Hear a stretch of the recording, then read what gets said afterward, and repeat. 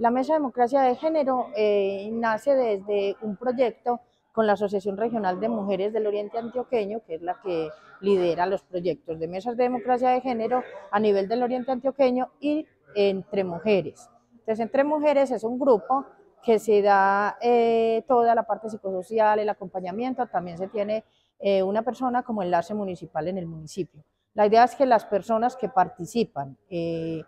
en el grupo entre mujeres no hagan parte del grupo de la Mesa de Democracia de Género. La Mesa de Democracia de Género es, es un grupo donde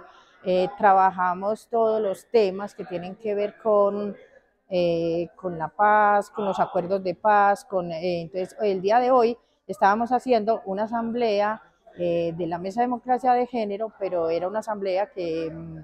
que la organizábamos desde la mesa y que la idea era eh, recoger todos los líderes, diferentes líderes de diferentes organizaciones. Y aprovechamos también para hacer todo lo que tiene que ver con la convocatoria a los líderes a participar de la Semana por la Paz y a participar pues del foro eh, el próximo 8 de septiembre. El gobierno tiene buenas intenciones con el asunto de la paz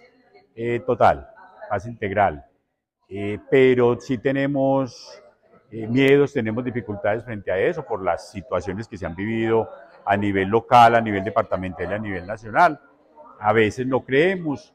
Pienso que unido a esos temores que nosotros como ciudadanos tenemos está la, el juego que hacen los medios de comunicación eh, muchas veces donde nos meten temores y nos,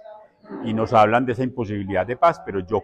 yo eh, personalmente confío en esa paz integral. Conversar sobre la paz es importante tener en cuenta que estén los niños, los jóvenes, los adultos. El encuentro del día de hoy es exitoso porque cumple con esa expectativa. Eh, todas las organizaciones sociales conversando en torno a la construcción de la paz y socializando las propuestas del gobierno sobre la construcción de la paz total. Bueno, en el encuentro de la Asamblea por la No Violencia que tuvimos el día de hoy, pues hay varias conclusiones que destacar frente al análisis y los debates que tuvimos frente al plan de desarrollo que se está trabajando desde el gobierno nacional. Eh, pues encontramos ahí que hay un discurso social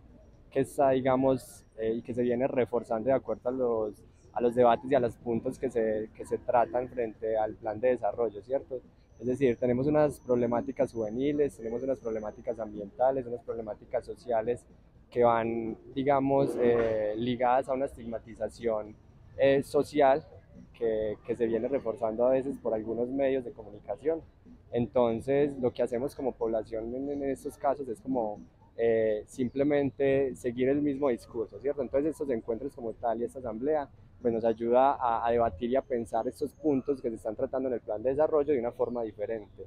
Eh, vemos también, digamos, la necesidad de potenciar diferentes escenarios de participación para las juventudes, para los encuentros de paz, para dinamizar de una u otra forma eh, el pensamiento social y comunitario enfocado, pues, digamos, a prácticas que construyan de forma colectiva la paz. Las conclusiones que quedan es, en esta asamblea se trabaja eh, un documento que tiene que ver con las propuestas que están dentro del Plan Nacional de Desarrollo, propuestas que tienen que ver con la paz, la paz integral, ¿cierto? Entonces ahí salen, eh, o sea, los participantes, eh, se hacen los grupos, se trabajan todos los temas que están plasmados dentro del plan de desarrollo y ellos, eh, algunos manifiestan pues como la inconformidad con lo que tiene que ver con que la paz no es posible, que la paz eh, no se construye así de la noche a la mañana, la idea es que la paz siempre se construya desde la casa, desde la familia. Desde...